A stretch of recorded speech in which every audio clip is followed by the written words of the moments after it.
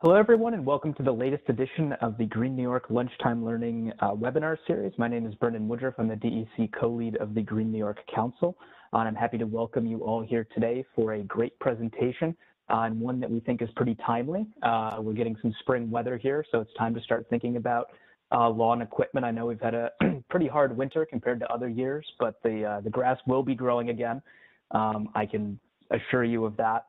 Um, and we're going to have to deal with it uh, in one way or another. So we might as well find the most environmentally friendly way to do so. So a couple housekeeping things here as we get started today. Everyone is on mute when you join. If you do have questions or comments as we go along, please type them into the chat box. Uh, we will get to questions and comments at the end. Uh, in addition, this is being recorded and it will be posted on the Green New York website afterwards. Uh, we'll put a link to that in the chat here as well. So if there's something you missed, you can go back and see it, or you can share it with uh, coworkers or others as well. Uh, in addition, next month's webinar is going to be taking place on Tuesday, April 13th. It's going to be on sustainable outdoor recreation. We've got some folks from DEC presenting on that. Um, so we're thinking spring here with our next uh, upcoming things. Um, also, as most of you know, Earth Week is coming up in April. So if you're doing anything interesting uh, at your agencies or have anything else going on, feel free to type that into the chat box and let us know as well. We're always happy to hear about what people have planned for Earth Week. So with that, I'm going to hand it over to today's presenter, uh, Ryan Torres, who is with the Battery Park City Authority. She's also the uh, co-chair of the Green New York Operations and Engagement Subcommittee.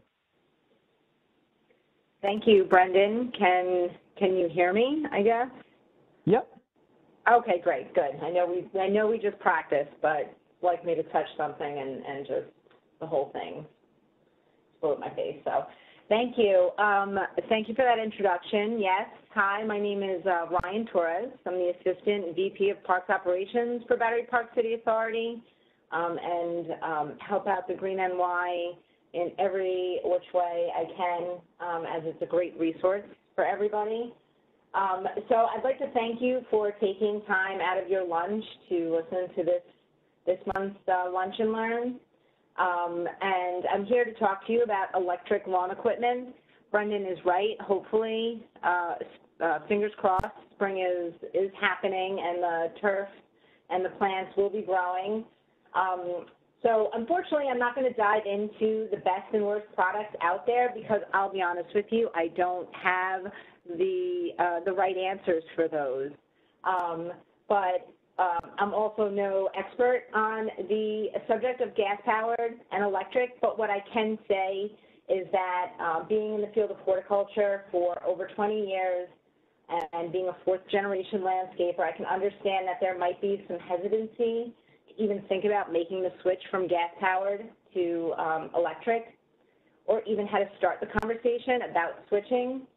My hope and goal is that by doing this today is that you think about exploring opportunities there are to investigate using lawn, uh, electric lawn equipment um, in, into your everyday operations. Let me get my, hold on, sorry. Uh-oh. Oh, here we go. Okay. Um, I think the best information that I'm going to be able to give you all today, hopefully, will come from the experience that Battery Park City Authority has had with our electric lawn equipment, um, which we'll go into a little bit later into the presentation. Um, but what I'll also talk about are the pros and cons of electric lawn equipment, uh, the noise and air pollution, and some quick facts and some resources at the very end. So um, without further ado, it's no secret that electric equipment is money saving, energy efficient, and easy to use. However, it's estimated that still over 5 million gas-powered mowers are still sold in the U.S. every year. I'd like to support and encourage everyone watching or listening um, in to look into using some electric lawn equipment into their everyday operations. Because according to the EPA, one gas mower running for an hour emits the same amount of pollutants as 11 new cars driving 55 miles an hour for the same amount of time. So just think that by replacing just one piece of equipment um, on the difference you can make, let alone a variety of um, equipment. All right. For years, people have talked and written about the benefits of switching to electric lawn equipment, yet the adoption of the concept seems to be uh, painfully slow. We hear all about going organic and using natives, um, planting the right plant in the right place. These are things that we hear um, in every webinar and every uh, lesson we learn when it comes to landscape. And then even in our everyday life, the commercials we watch and um, everything that we're reading, we hear the benefits of electric vehicles. And yet it seems like the electric lawn equipment kind of doesn't fall into one or the other. And so I'm hopeful that we can kind of add the electric lawn equipment into the commonly talked about good for, you know, good for the landscape, good for the world kind of topics. So when I talk about um, electric lawn equipment, really what I'm talking about are lawn mowers, uh, leaf blowers, weed whackers, trimmers, other small um, equipment that we typically use in our day-to-day -day operations to keep the landscape looking good. Um, it also comes in two different forms, corded and cordless. I think, um, I think it's safe to say for the sake of this webinar, we're probably talking about the cordless kind because um, if you have a cord hanging from your piece of equipment, you're kind of limited to how far you can go. Um, but that is definitely a really, a really great option. Um, although at Battery Park City Authority, we only have the uh, cordless as of now. Um, some of the uh, pros and cons of electric equipment. Um, the pros, its potential for lightweight, despite uh, what you might hear later on some of the feedback I've gotten from our staff for our particular equipment, but for the most part, it is more lightweight than the gas power counterparts. Smaller in size, which might not seem like a really big selling point to a lot of people, but I can tell you um, when you're in downtown Manhattan, storage is um, critical, and uh, so smaller in size is not is not a bad thing. Um, it's environmentally conscious and friendly, which is what we're all about and where we're trying to strive for. So that seems like an easy win.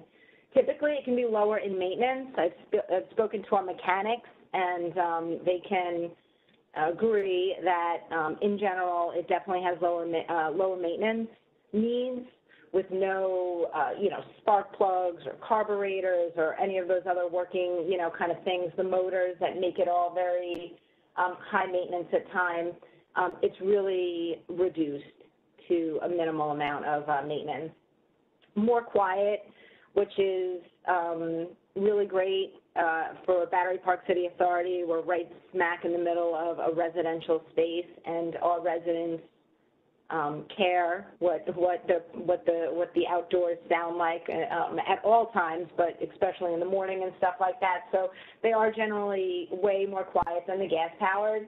And then there's no need for fuel and oil, um, which I just think is a really great benefit. There's so many things that you know already do need fuel.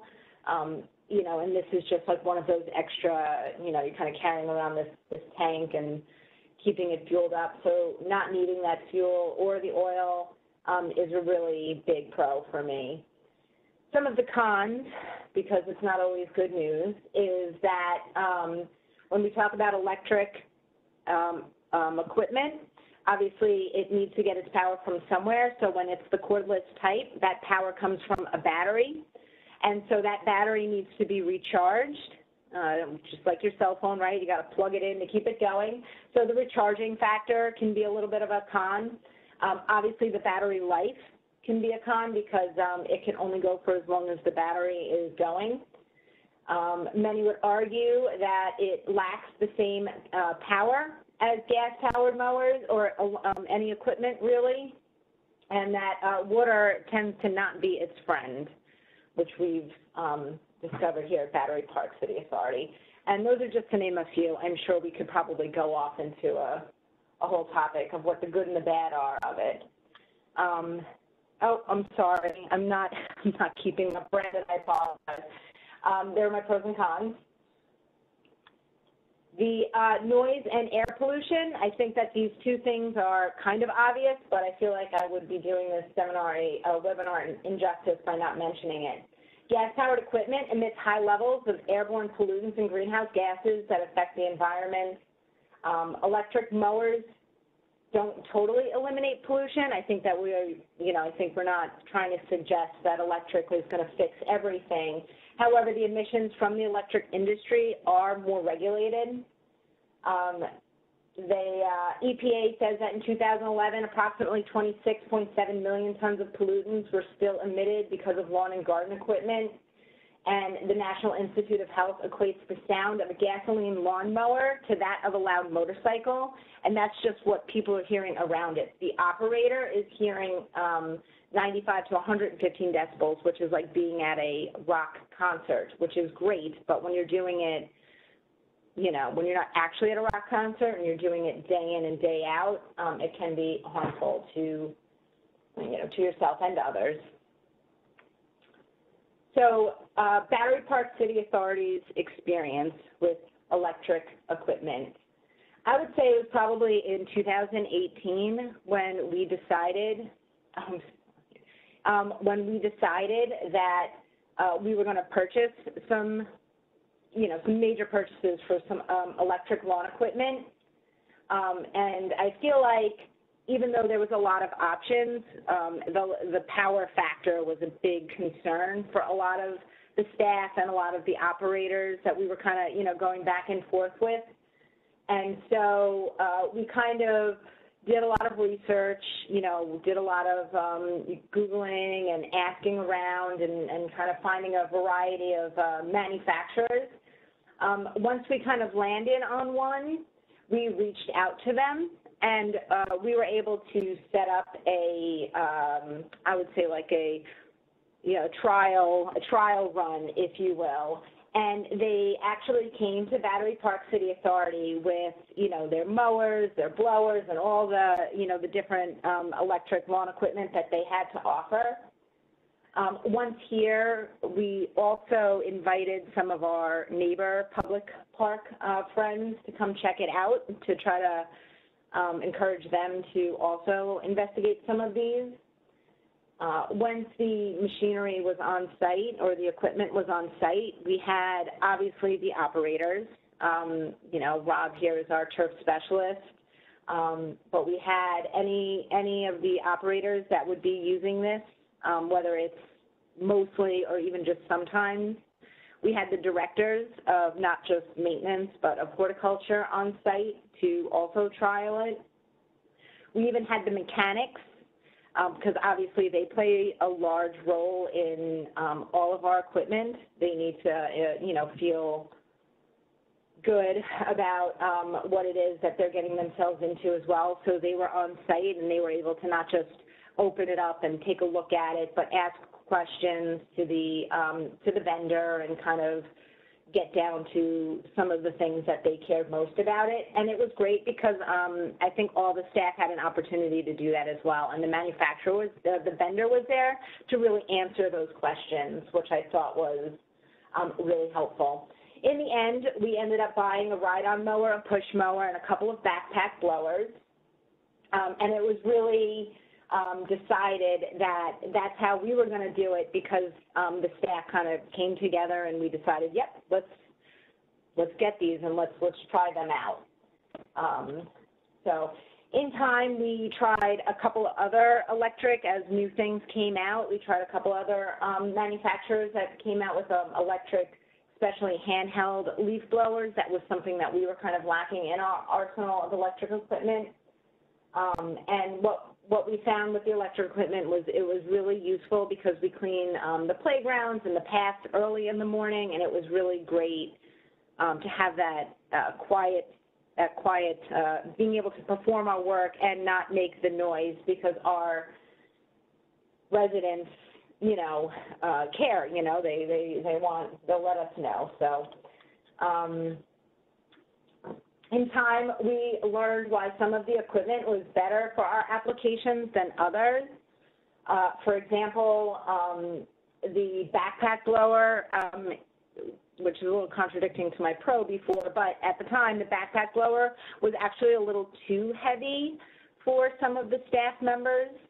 Um, and um, it was uh, also didn't have quite the power that it needed sometimes. If, for example, if we were cleaning up the playground and we tend to blow the playground sand back into the space, but if it's wet or damp, then you need that extra power. Sometimes that wasn't fulfilling our needs there. Um, also that our mulching deck on our ride-on mower, it didn't seem to pull the turf up with the same kind of power, which gave it that nice cut. Um, this was just some of the feedback that, you know, that we received. There was plenty of uh, good stuff um, as well. But all the while, we kind of just listened to the staff and heard what they had to say and, you know, tried to make things work. If it didn't, we trialed other things um, because, again, there's just, there's so many options out there. It just kind of never ends. Um, what I can tell you is that I, we don't regret going through this process and the importance of bringing our coworkers um, and their opinions has made a huge difference from those who are um, going to maintain them to those who are actually going to be using them, um, getting their, their thoughts, their real um, opinions about everything was just really critical in the process. Um, as a follow-up, I think it's also important that you continue to ask questions. Um, you know, sometimes I, you know, noticed something wasn't being used, and it wasn't until I asked that I realized that there was something, you know, that could have been better, um, something that could have been, you know, tweaked a little bit. Um, and so I think it's important that you follow up, right? Or if you're the user, it's important that you mention it because um, the end goal here is to work with something that is helpful in our day-to-day operations. And it's also important to manage expectations, right? Say, hey, this might work sometimes, but it won't work all the time, or, you know, things like that. Um, because I think at the end it's all a matter of um, using electric lawn equipment as much and as often as we can. So what's next for Battery Park City Authority? Um, you know, we continue to investigate um, electric equipment as it comes out. Um, we continue to try to um, try new products um, and listen to manufacturers. We try to share our information in hopes that, you know, we can kind of um, help weed through some of the stuff that's going on there. Um, we also continue to uh, look for any new and innovative ways to work with electric uh, lawn equipment, and we'll continue to do that, um, you know, probably forever. We have a really bigger, big goal um, in our sustainability plan, um, in our electric vehicle infrastructure section, right, because electric lawn equipment doesn't seem to fall in anywhere. But the goal is to replace BPCA's um, on-road, off-road vehicle fleet with 100% electric vehicles and explore opportunities for biofuels for other maintenance and specialized equipment.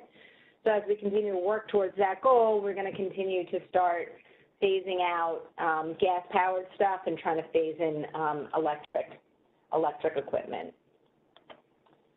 So some uh, quick facts here, just you know, to kind of drive it home. According to the EPA, one gas uh, mower releases 88 pounds of greenhouse gas and 34 pounds of other pollutants. Over 17 million gallons of gas are spilled, that's just spilled, not used, each year refueling the lawn and garden equipment. And Americans can burn 800 million gallons of gas just mowing our uh, turf. And then um, I think it's important to mention just a little bit here that according to the Climate Leadership and Community Protection Act, um, that New York State does have um, big goals, and part of it is that 85% reduction in greenhouse gases by emissions by 2025, so that by using electric equipment, even if you're just swapping out a few, makes makes a difference and will help work towards those goals. Um, if you're involved in the EO4 report, that purchasing and using of electric lawn equipment can be used as a success story in the sustainable landscape section of the report. I see a typo now, I apologize. Um, so that's, you know, that's really great.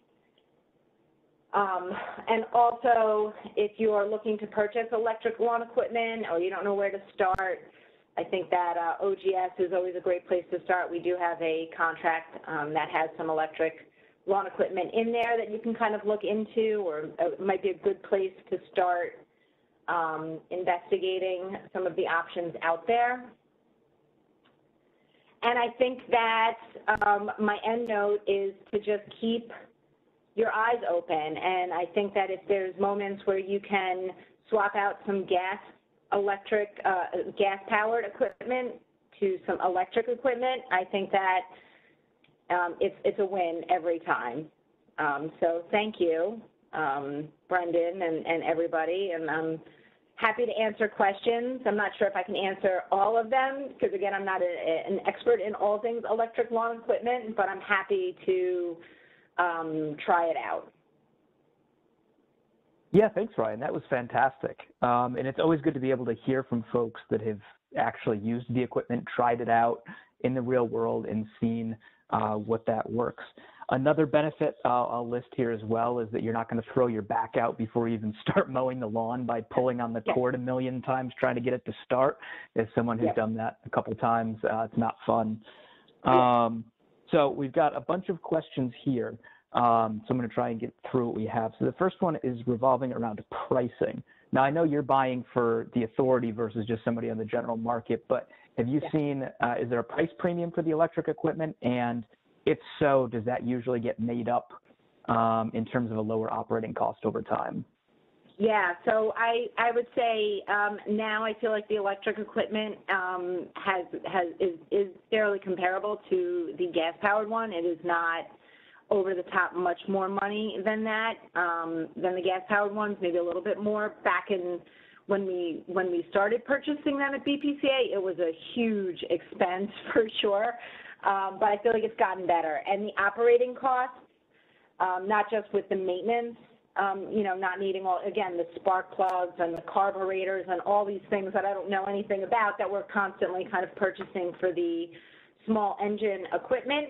Um, you're not you're not you know, you don't need those. And so that makes a difference um, over the course of a year, over the course of a season, over the course of a couple of years.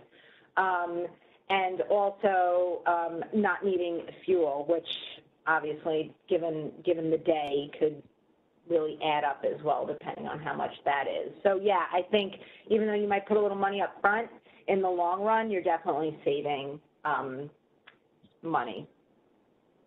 And I think uh, another benefit too would be you're not going to end up with your lawnmower stuck in the middle of the yard when you run out of gas and then having to drive to the store to get more. So you're burning even more fossil fuels to get fossil fuels to get your lawnmower back in your house. Um, That's true. That's definitely true. been there. um, so another question that came in here is how long does this equipment usually uh, run for? Um, if you could just go through, like if you know, like the leaf blower, weed whacker, push mower, things like that. Yeah, again, you know, I can I can really just kind of speak on our experience, but um, it seems like we could get, um, you know, an hour to an hour and a half from our blowers, our, our handheld um, blowers. Um, the lawnmower, I believe, um, is somewhere in that neighborhood too, maybe an hour and a half to two hours.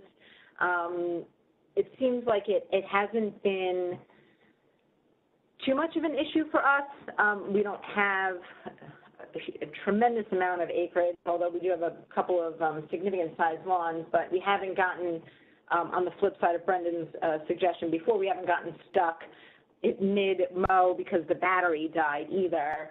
Um, and I think that it was really easy to tell because every manufacturer, that's going to be one of their biggest selling points, is this is how long you can expect to you know, the battery to last and so on and so forth, because that is the biggest concern. Well, one of the bigger concerns, right, is if it takes you four hours to mow your, you know, the turf area, but you're only getting two hours worth of batteries, then, you know, you just know that it's going to take some time. But for us, it seems to have been anywhere between an hour and two hours for everything, and it's been fine.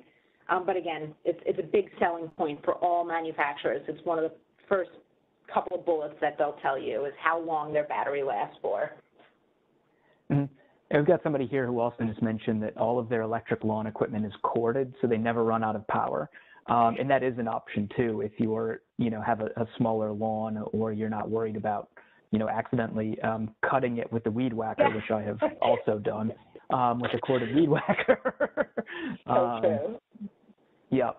Um, so I- another a question here came in about uh, batteries, um, Hmm. and they met, somebody mentioned that most of the companies that are out there that they've looked at use different battery technology that's not compatible with other companies. Yeah. How have you navigated that in terms of you know, do you buy all from the same company, and are those batteries interchangeable amongst like the leaf blower and the weed whacker, um, Yeah. or do you have like a proprietary charger and battery for each one? No, so yeah, so we've been working, we, um, so far, it seems like we work with, um, pieces of equipment that kind of have batteries that are interchangeable, uh, just because, um, it's, it makes the most sense for us.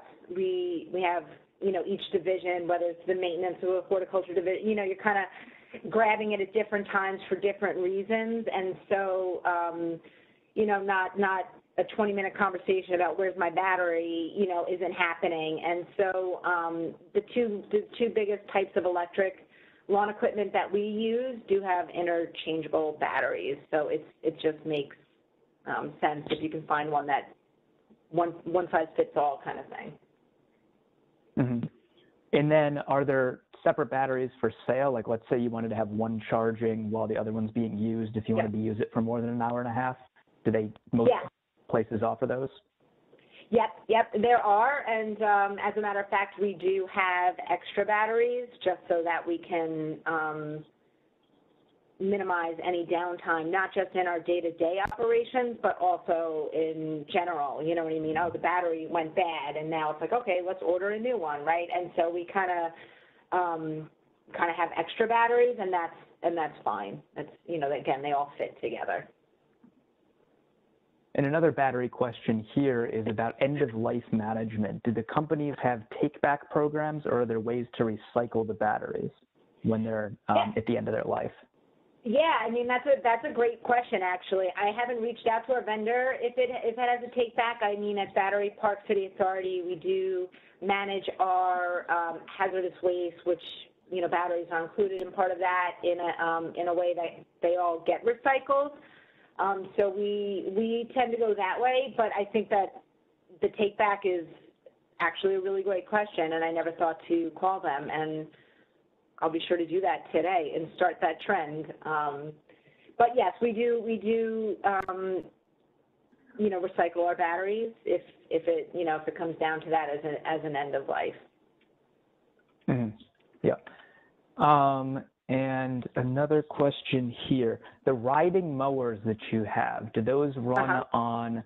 Um, are they on the removable batteries, or are they like plugged in like an electric car is plugged in? You know, the batteries are in the in the unit itself. Yeah, um, I, it's, they're all plug-in batteries. So, so the batteries that you put into the machine, um, Mhm.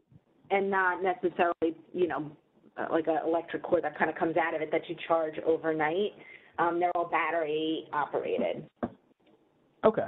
And are there any specific um, requirements for charging, or is it just a regular household outlet for everything? Just a regular household outlet. I mean, we got a bunch of electricians on staff, and I haven't heard them complain about having to do anything specific. Again, Okay. not, uh, but but it seems like yeah, we just kind of have them, you know, near our regular outlets. Um, and it's nice too, also because the uh, charger will also come in. Um, it, you know, there's the battery and then the charger, right? Um, and sometimes you can, you know, have them. You know, we have some of them mounted on like a vertical, you know, on like a wall, so it's not like got all these like random batteries with these cords on the floor and so there's um the vendors are getting really creative you know for ease of use and making sure that they're not a tripping hazard and um but yeah right right next to a normal outlet Mhm. And uh, somebody has a question here. They just got a larger yard and they're looking into a riding electric mower. Do you have any specific recommendations for them to look into in terms of, um, you know, attributes or other things they should be thinking about, or things that you found that didn't work that well on those? Yeah, so I think I think for the most part they definitely worked well um, in our experience. Again, it you know I think that the um, the aesthetic does change a little bit because we're so used to seeing like that perfect, again, um, with ours, one of, Rob, our turf specialist, had mentioned was that like the mulching deck didn't have the power where it kind of like stood the turf up really straight enough to kind of give it like that really, you know, sharp cut that he kind of, you know, comes to expect with a gas power. Um, so I think that the power is um, plays a large role. The um, battery life plays a large role, especially if you're going to get a ride on. That typically means you have a big space, so you want to make sure that the um, charge time is right. Something else that um, came up, which we never really thought about um, before, was, um, and, and more so with our ride-on mower than anything else, was that we couldn't like hose it down afterwards to clean it because we're like, oh, uh, right? Oh. oh, wait a second. and so we, we, we, you know, you kind of have to use like compressed air, you know, to kind of, you know, because we, we want to clean it up afterwards, right? And so Yep. that was something else. Um, I'm not sure if, if maybe some of those um, water-friendly Elena electronics, I don't know how friendly that can be, but if, if there's any moments where um, you know, the care for it um, uh, on those aspects. That's something I'll definitely look into our next round um, as well. And I think also too, I think we shouldn't be scared to ask uh, the manufacturer, the vendor, to come on out and test it out, or you know, call some of your neighbors and, and get on it, um, you know, and see, take it for a spin and see how it feels. Yeah, that's a great point. And do you, have you noticed that there's any, or I have not noticed this myself, others can type this into the comments if they have. Are there stores or organizations that do like kind of ride and mows, I guess, as opposed to ride and drives? Have you seen anything like that? You know, I I, I haven't, but um, again, when we uh, were investigating uh, the particular you know manufacturer that we ended up going with the first time um, many years ago, uh, literally it, we made such a big thing of it because they were bringing like one of everything. They had like trailers and everything. I said, oh, we invited. Um, we're in downtown Manhattan, so we called New York City Parks our neighbors, um, you know, at um, Hudson River Park, and, and you know, some of our public park, uh, you know, sister parks, if you will, because we were like, well, we're making such a big deal of this. We should, they're here, right? Everybody should see it, and um, maybe it's like something we should start, right? I'll, I'll do it again, and you guys can all come down Lower Manhattan and try it out. We might take you up on that. I'm telling you, it's, I'm Uh, telling you, it's one of those things. Nobody talks about electric Yep. equipment. It's so weird. Yeah. Um, so another thing here, somebody mentioned that they have an electric or uh, snow thrower, like snow shovel type thing. Have you used Uh-huh. those before? And do you have any Uh, thoughts yeah. on those? I mean, if my if, if anybody in our in the, in in our maintenance division is listening, please cover your ears. But no, we haven't. We have not tried the electric ones yet, um, and that is something that we're going to be investigating. You know, kind of taking a look at. Again, it's you know you're you're you want to make sure that you find that fine that fine line of making sure that we can all do our jobs safely and efficiently and productively um, while exploring opportunities to, you know, use electric equipment. Um, and so we haven't found that balance yet, but that's definitely something you can give me a call uh, about in the next couple of months because we're going to be trialing, trialing it out. And another question here about calculating fuel costs, because Mm. um, if you have gas equipment, you know, you, you can keep track of the records of, you know, you've got a five gallon, you know, tank or what, or, you know, um, gas can or whatnot. Um, do you look at that? Do you keep track of how much electricity is being used in any way, or is it so de minimis that it's hard to even Yeah. calculate? Yeah, for us, it's um, it is it is very minimal um, in the amount of electricity that the electric uh, vehicles have added. Um, we also have electric fleet of vehicles for our staff to use for the parks and stuff. So we kind of have a lot of electric equipment happening, uh, such as forklifts and other things in our in our area. So the addition of the lawnmowers and the leaf blowers was not not noticeable. Um, and, and we haven't kept track, we keep track of our fuel used, but I guess we haven't really gotten into the nitty gritty of saying this is for the off-road, this is for, you know, the Bobcats, this is for the, we haven't done that, but that would be interesting to, to do. Mhm. Um, so if anybody has any um, additional questions, make sure to type them into the chat box now. Um, and Ryan, do you have any final thoughts for people as we're seeing if there's any last questions? Yeah, again, I think that, um, you know, if there's anything that I've learned in my uh, time with sustainability is every decision, even if it's small, makes a difference. And um, even if you just commit to swapping out one of your gas-powered um, pieces of lawn equipment for now, is a win. Um, and you guys can, uh, you know, anybody can call or reach out anytime if they have any questions. That's great. And let me just check for questions one last time. I'm not seeing any new ones here. So um, I just want to thank you so much, Ryan, for presenting today. This was fantastic. Um, you know, this is a lot of information that I'm certainly going to be, um, you know, taking into account. I'm looking for an electric rototiller. So um, some good things to think about here with that. I hope everybody else got a lot out of it too. Our next presentation, as I mentioned at the beginning, uh, is Tuesday, April 13th. It's on sustainable outdoor recreation. Um, so thanks again for joining us, and uh, we'll see you next month. Thanks, everyone. Thanks, Brendan.